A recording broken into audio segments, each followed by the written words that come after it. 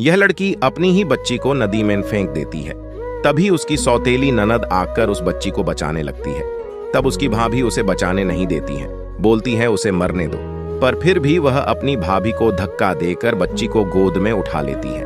तब उसकी भाभी बोलती है, अब देख, मैं तुझे बताती हूँ। वह अपनी पति को फ़ोन कर बुलाती है और कहती है, सागर, देखो, तुम्हारी सौतेली बहन मेरी बच्ची को मारना चाह रही थी। इस नदी में फेंक दी थी।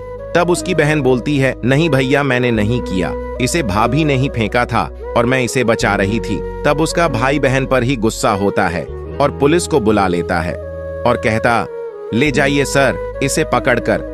तब एक लड़का आता है। आगे जो हुआ, उसे देखने से पहले वीडियो को लाइक करके सब्सक्राइब कर दें और कमेंट में, लव यू माँ ज़रूर लिखें। फिर वह लड़का पुलिस को सबूत दिखाता है, जो कि मोबाइल में रिकॉर्ड था। फिर उसका भाई उसकी भाभी को डांटता है और बहन से